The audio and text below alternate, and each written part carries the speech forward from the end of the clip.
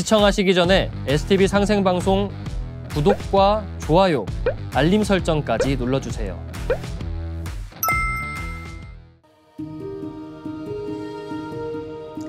여러분 안녕하십니까? 치유와 생존, 도통문화를 전하는 동방신선학교 개병 뉴스입니다. 다가오는 후천 새 문명의 비전이 담긴 삼신일체 상제님과 수부님의 새 역사 이야기, 도전 말씀으로 시작하겠습니다. 도전 6편 7장 3절입니다. 나는 남방 삼리화로다. I am south three li fire. 나는 남방 삼리화로다. I am south three li fire. 나는 남방 삼리화로다. I am south three li fire. 상제님께서 우주의 여름철, 불의 계절에 인간으로 오실 수밖에 없는 이유를 우주 원리적으로 말씀해 주셨습니다.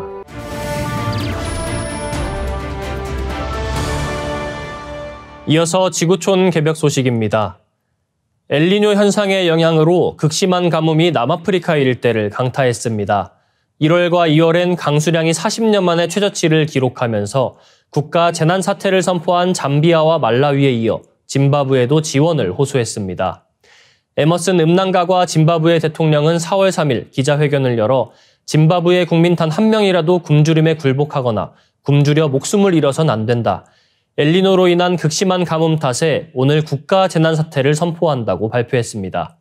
그는 식량 지원에 필요한 인구가 약 270만 명에 이른다며 국제사회에 지원을 호소했습니다. 미국 국제개발처에 딸린 기근 조기 경보 시스템은 2023년부터 2024년까지 짐바브웨의 북부, 북동부, 남서부의 누적 강수량은 지난 40년 평균치의 60에서 75% 수준에 그쳤으며 가뭄이 지속되고 있는 터라 상황은 더욱 악화할 것이라고 경고한 바 있습니다. 또 힐랄 엘버 유엔 식량권 특별 보고관은 한때 아프리카의 빵 바구니로 불렸던 짐바브웨의 인구 60% 이상이 식량 부족 사태에 직면했다. 이는 철저한 인재다라고 말했습니다. 짐바브웨는 세계 자연유산을 다섯 곳이나 품고 있어 아프리카의 스위스로 불리는 나라로 지하 자원이 풍부하고 식량 창고로도 불리며 한때 아프리카의 최강국이었지만 지금은 아프리카 최빈국을 벗어나려 몸부림을 치는 실정입니다. 다음 뉴스입니다. 여성의 생체 시계가 남성보다 약 6분 빠르다는 연구 결과가 나왔습니다. 미국 대학 세 곳의 여성 전문가로 구성된 연구팀이 성별에 따른 수면 격차에 대한 학술 논문을 검토한 결과 여성은 남성에 비해 불면증을 경험할 가능성이 60% 가까이 더 높았습니다. 여성은 남성보다 수면의 질을 낮게 평가했고 잠을 잘 못 자는 날이 더 많았다는 것인데요. 심층적 분석을 통해 연구진은 남녀 간 일주기 리듬의 차이가 있음을 발견했습니다. 이번 연구 결과에 의하면 여성의 생체 시계는 남성보다 약 6분 빨랐습니다. 수면을 돕는 호르몬 멜라토닌은 남성보다 여성에게서 더 일찍 분비됐으며 신부 체온도 같은 패턴을 따르는 것으로 보였습니다. 연구 저자인 스탠포드대 정신의학 전문가 렌스케 로크 박사는 신체 시계와 수면, 각성 주기 사이의 불일치는 남성보다 여성에게서 약 5배 더 크다고 밝혔습니다. 이어 누군가의 시계가 항상 6분 더 빠르게 혹은 느리게 간다고 상상해 보라. 며칠, 몇 주, 몇 달에 걸친 이러한 차이는 내부 시계와 빛이나 어둠 같은 외부 신호 사이에 분명한 불일치를 초래할 수 있다고 말했습니다. 이번 검토에 포함된 한 연구에 의하면 여성은 수면과 관련된 섭식 장애가 생길 가능성이 최대 4배 더 높았습니다. 연구진은 수면 문제나 일주기 리듬, 대사 장애를 치료할 때 개인의 생물학적 성별을 고려해야 한다는 점을 이번 연구가 시사한다고 말했습니다. 다음 뉴스입니다. 중국에서 발생한 대기 오염 물질인 일산화탄소가 한국에 통제할 수 없을 정도로 많이 유입된다는 연구 결과가 나왔습니다. 가정이나 공업용 연료를 태울 때 나오는 일산화탄소는 대기 오염 물질로 혈액의 산소 운반 능력을 크게 떨어뜨려 소량만 들이마셔도 호흡을 어렵게 할 수 있습니다. 미국 일리노이대 농업 및 소비자 경제학부의 한 연구팀이 미국과 유럽, 중국과 한국, 기타 등 다섯 개 지역으로 나눠 대기를 통한 오염물질의 이동을 추적한 결과 중국에서 한국으로 유입되는 일산화탄소는 1990년대부터 2014년까지 최대 10.6테라그램에 달했습니다. 이 기간 동안 한국은 국내에서 발생하는 일산화탄소를 0.8테라그램 줄였지만 중국에서 유입된 양에 비해 턱없이 적은 수치입니다. 연구팀을 이끄는 샌디 델러바 교수는 5테라그램의 일산화탄소는 연간 2만 1,700km를 주행하는 미국의 모든 자동차 약 2억 7,400만 대에서 나오는 배출량에 해당한다며 이 같은 증가폭은 적은 것이 아니며 한국은 사실상 자체 대기질에 대한 통제력을 상실했다고 말했습니다. 연구팀은 또 한국으로 유입된 중국발 일산화탄소의 대부분은 중국 내수 시장을 위한 상품을 만드는 과정에서 나왔다고 분석했는데요. 중국의 오염물질을 줄이는 기술이 일부 개선되기는 했지만 1990년에서 2014년 사이 중국 인구와 상품 소비가 증가하며 생산량이 늘어난 영향이 훨씬 크다는 것입니다. 연구팀은 연구 결과는 대기 오염이 개별 국가에서 해결할 수 없는 세계적인 문제라는 것을 보여준다며 한 지역에서 배출되는 오염은 다양한 정도로 다른 국가에 영향을 미치게 된다고 말했습니다. 이어지는 순서는 상생 라이프입니다.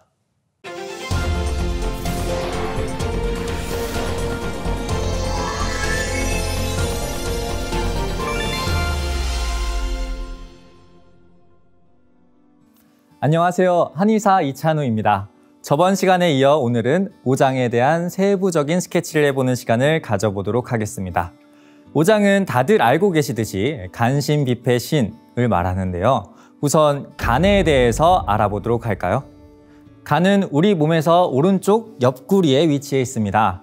누운 상태에서 숨을 깊게 들이신 상태로 오른쪽 갈비뼈 안에 손을 밀어 넣어 보면 간의 가장자리가 만져지기도 하는데요. 지방간이나 간 경화가 있으면 좀 더 비대하게 만져진다거나 딱딱하게 만져지기도 합니다. 이러한 간은 우리 몸에서 약 500여 가지의 기능을 담당하고 있을 정도로 아주 다방면에서 활약하는 장기입니다. 대표적으로 피로회복, 회독, 혈액 생성 등이 있습니다. 또한 간은 오장 중에서 가장 회복력이 뛰어나 간 이식을 받아도 비교적 빠른 시일 내에 회복되는 모습을 보입니다. 다방면에서 활약하면서 회복력도 뛰어난 간. 마치 무적의 영웅 같지 않나요? 하지만 이러한 간도 손상이 반복되면 딱딱해져서 회복이 불가능해지는 상태가 되는데요. 우리들은 이러한 상태를 간경화라고 부르죠. 간에 이상이 생기면 대표적으로 만성 피로에 시달리게 됩니다. 피로는 간 때문이야 라는 광고 문구처럼 간과 피로는 밀접한 관계가 있습니다. 이렇듯 간은 몸의 독소를 해독하고 피로를 없애는 등의 몸에 해로운 것들을 무찌르는 장군 같다는 의미로 한의학에서는 장군지관이라고 부릅니다. 이처럼 건강하고 활력 있는 삶을 유지하기 위해서는 우리 몸의 장군인 간의 건강 관리가 무엇보다 중요한 것이죠. 다음으로는 심장인데요. 동의보감의 심장은 아직 피지 않은 연꽃과 같은 모양이라 해서 미개연화라고 합니다. 이러한 심장은 끊임없이 활동하며 온몸에 혈액을 전달하는 역할을 합니다. 심장은 몸의 임금이라고 불릴 정도로 매우 매우 중요한 장부이기 때문에 심장에 병이 생기면 몸에 아주 큰 타격이 가게 되죠. 실제로 한국인의 사망 원인 중 1위는 암, 2위는 심장질환인 만큼 생활 속에서 꾸준히 심혈관 관리를 해주셔야 합니다. 심장에 병을 생기게 하는 요인에는 흡연, 음주, 그리고 고칼로리 위주의 식단, 비만, 스트레스 등이 있는데요. 이러한 원인으로 인해 협심증, 동맥경화, 고혈압 등의 증상이 생기게 됩니다. 이러한 질환들은 생활 습관뿐만 아니라 유전적인 요인도 크게 작용합니다.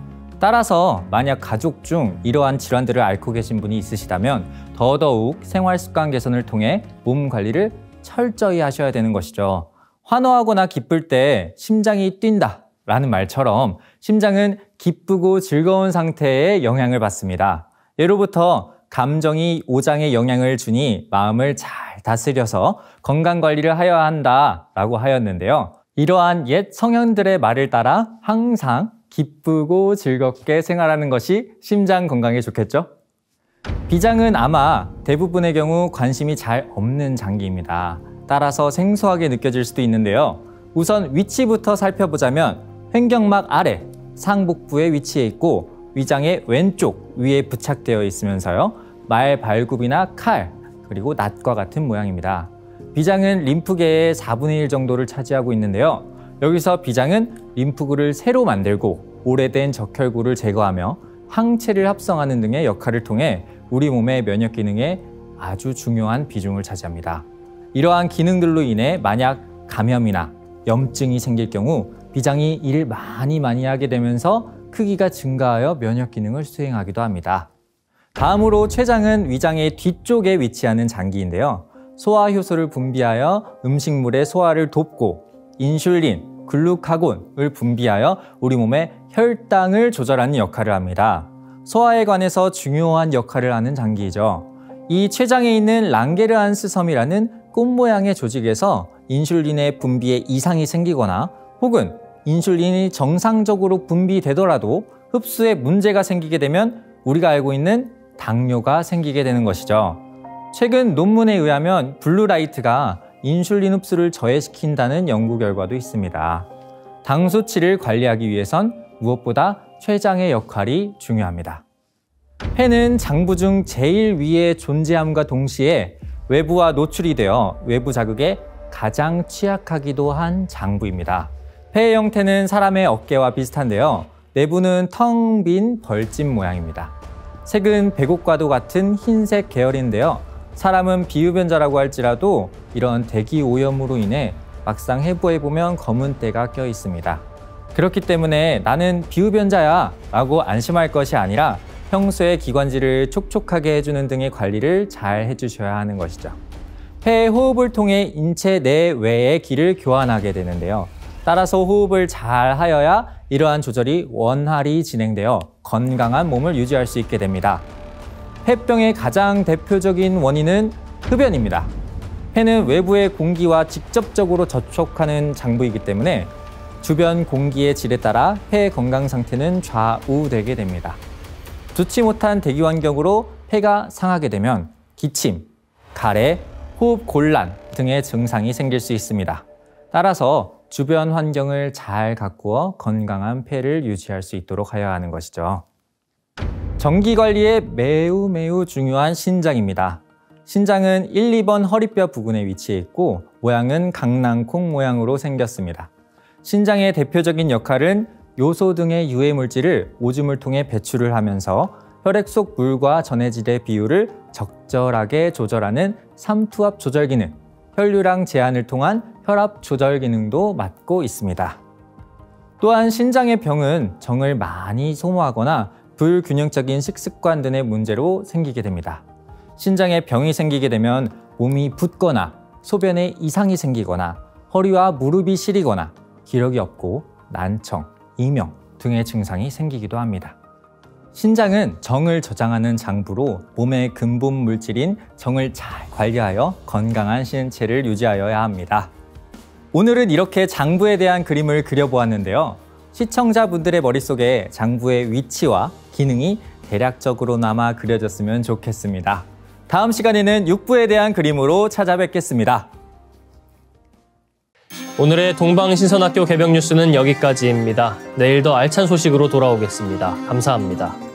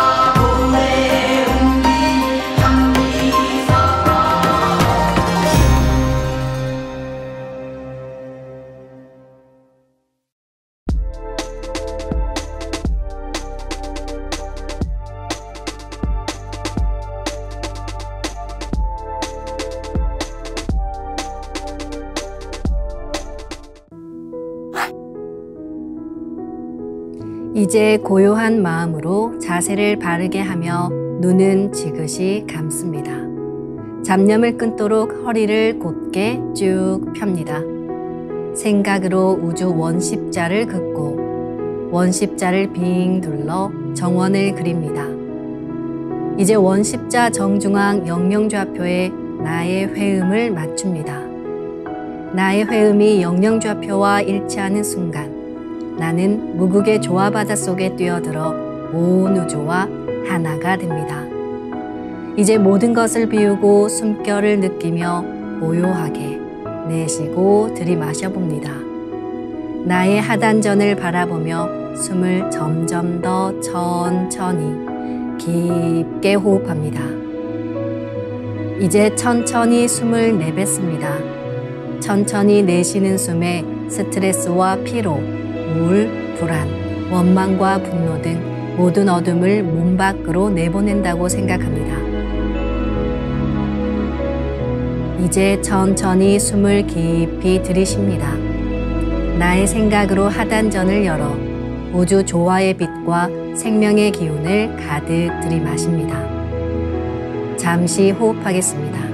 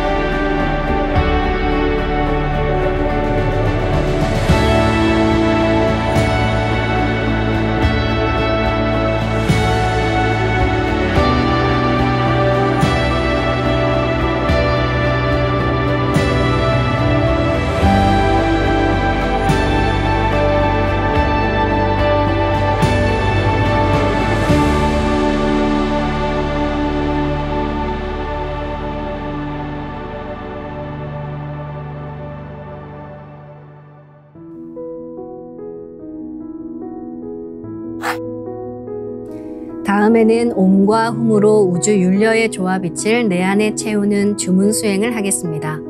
이 대우주의 율려를 내 몸에 실는 가장 지극한 소리가 바로 옴과 훔 사운드입니다.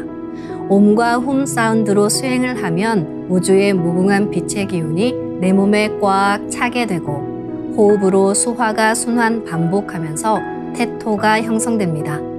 테토가 생성된다는 것은 내 몸의 면역력이 상승하고 내 삶이 건강해지며 무한한 자신감이 생기게 되는데요. 그 과정에서 자가치유가 함께 이루어집니다. 내 몸의 중심맥인 축맥을 따라 나의 숨결과 주문의 빛기운이 하나 되어 백회와 회음 사이를 함께 오르내립니다.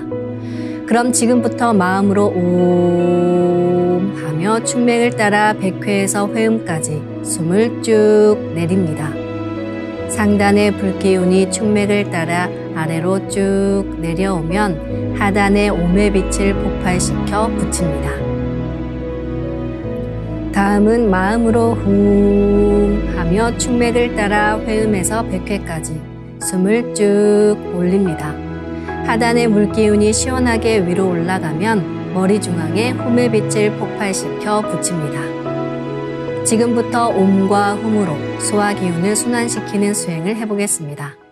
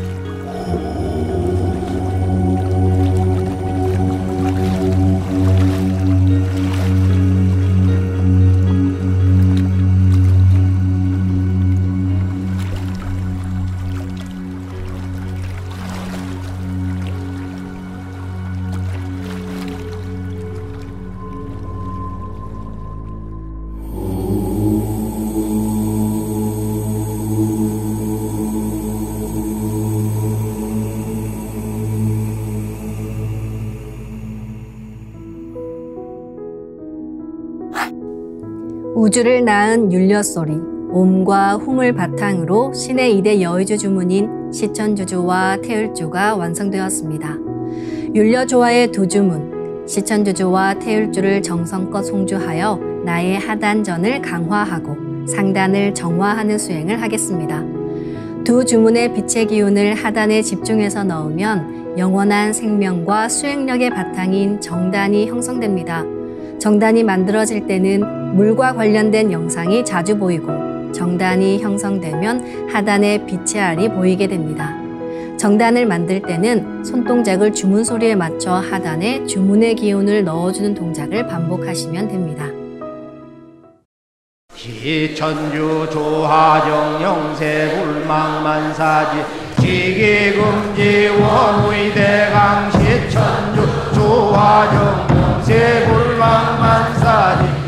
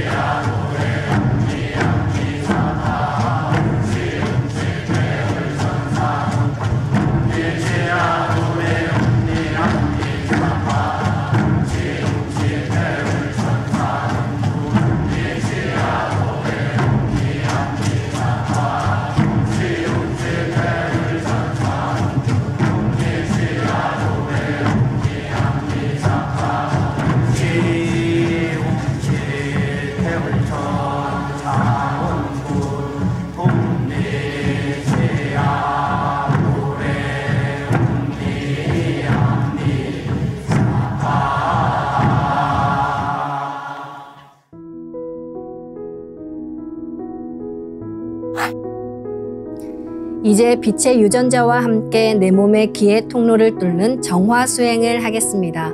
충맥과 임동맥은 탁하고 오염된 기운으로 매일 조금씩 막히기 때문에 날마다 세수하듯 매일 뚫어야 합니다. 충맥과 임동맥을 맑힌 만큼 천직 기운을 받아내릴 수 있습니다. 먼저 빛의 유전자로 광선 여의봉을 만들어 보겠습니다. 나의 손목에 백광의 빛 팔찌처럼 있는 상제님과 태어령님의 조화 광채, 빛의 유전자를 생각으로 DNA 나선 형태처럼 꼬아 하나로 만듭니다. 하나로 합쳐진 두 분의 조화 광채, 빛의 유전자로 길이 30cm, 직경 3cm의 막대기처럼 길쭉한 빛봉을 만들고 양 끝을 뾰족하게 하여 백회 아래에 수직으로 세웁니다. 충맥을 따라 생각으로 광선 여의봉을 백회에서 회음까지 위아래로 이동시키면서 막힌 곳을 진득하게 뚫어보겠습니다.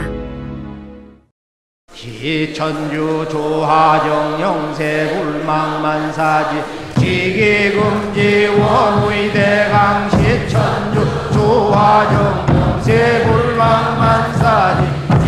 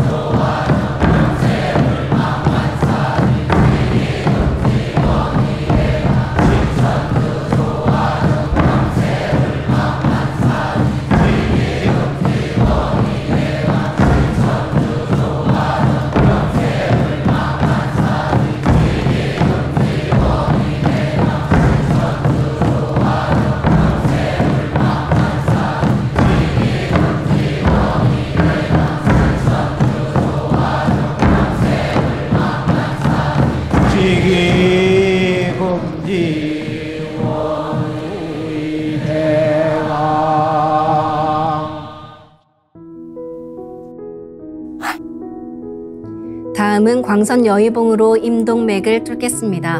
그럼 광선 여의봉을 생각으로 회음 쪽으로 옮깁니다. 임동맥을 뚫을 때는 호흡에 맞춰 뚫는 게 좋습니다. 회음에서 동맥을 따라 들숨으로 광선 여의봉을 올리고 인맥을 따라 날숨으로 내리며 임동맥을 정화하겠습니다. 지움치 태울 천사문구 네 죄야 노래 네 암니 사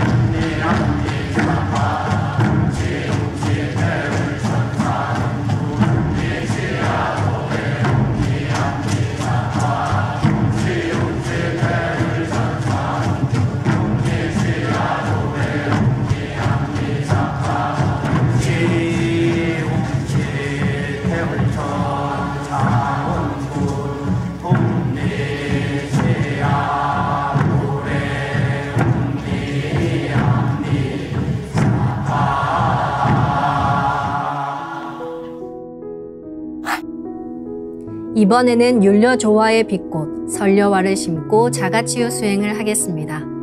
설려화는 우주의 진선미 자체이며 모든 가치를 집약한 조화꽃입니다. 이 꽃을 통해 우리는 우주의 무궁한 빛과 하나 됩니다. 그럼 설려화 빛폭발 수행을 시작하겠습니다. 설려화 반짝반짝 빛폭발 수행법의 3대 공식은 첫 번째, 내 몸에 꽃을 심습니다. 두 번째, 꽃이 분화돼 퍼지면서 반짝반짝 빛을 냅니다. 세 번째, 율려 빛꽃의 에너지가 서로 뭉쳐지며 빛폭발이 일어납니다. 이제 생각으로 내 머리 상단에 모셔진 본체 설려화와 똑같은 설려화를 원하는 개수만큼 분화해 만듭니다. 아픈 부위에 설려화 줄기를 힘차게 톡 꽂아 심겠습니다. 지태울 전상운군 홈리지야. 홈리함리사파 훔치 훔지태울 전상운 홈리지야. 노래 홈리함리사파 훔치훔치태울 전상운 홈리지야.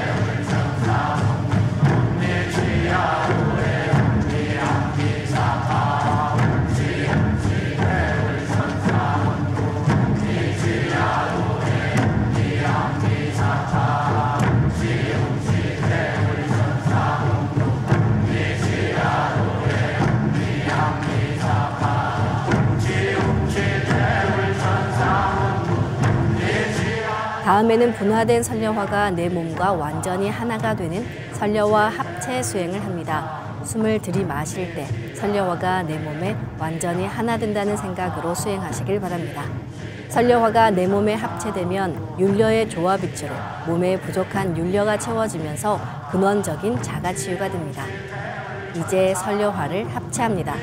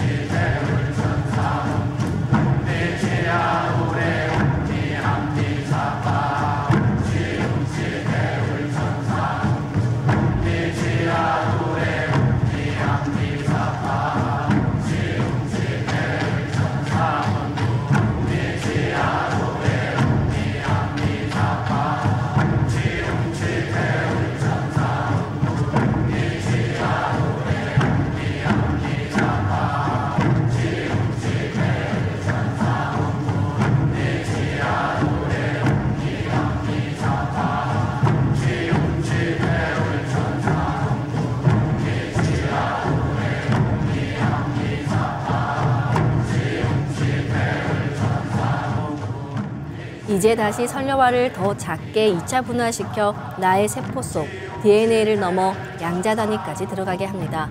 병증이 심한 곳은 설려화가 자가 치유의 과정에서 함께 녹아내리기도 합니다. 그런 곳은 설려화를 분화해 계속 심어주시면 좋습니다. 그럼 설려화를 분화합니다.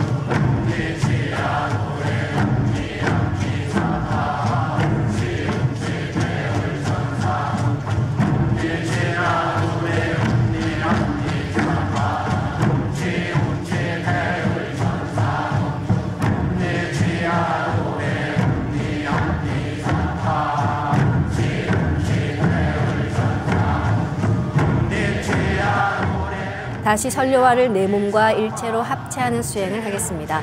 기하급수적으로 아주 작게 분화해 세포 속 DNA까지 들어간 설료화가 내 몸과 하나 되며 세포도 재생시킵니다. 이제 설료화를 합체합니다.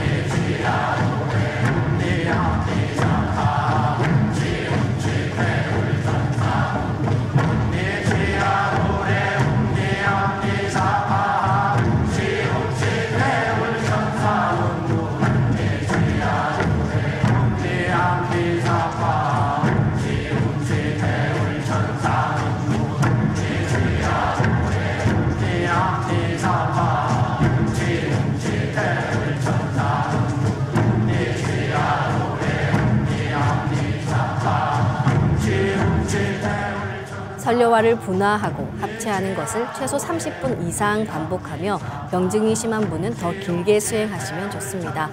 그럼 마지막으로 한 번더 설려화를 분화하겠습니다. 설려화를 분화합니다.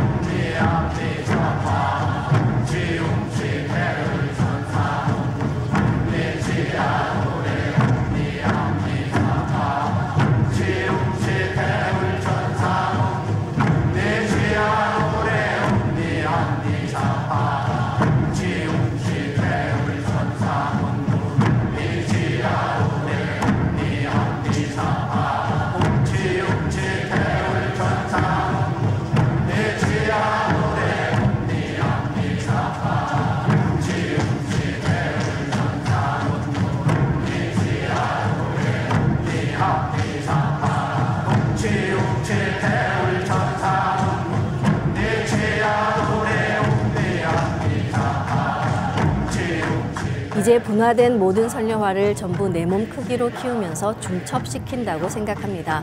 이렇게 중첩된 설려화가 나와 합일하면 내가 한 송이 설려화 그 자체가 됩니다. 이제 설려화를 합일합니다.